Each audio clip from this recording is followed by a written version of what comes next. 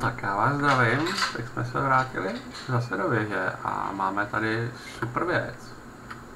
Dostaneme tady plány na pistole s tlumičem, takže si to koupíme, nebo koupíme, vezmeme si od něj, nám dá zadarmo a koukneme na to, co to je za plány.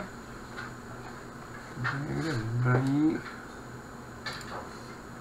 Německá pistola a americká potřebujeme na to tady zabavený balíček a tkán z printera. Tak je to zase něco z datadisku.